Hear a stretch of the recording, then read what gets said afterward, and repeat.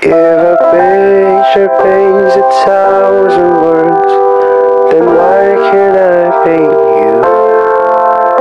The words will never show the you I.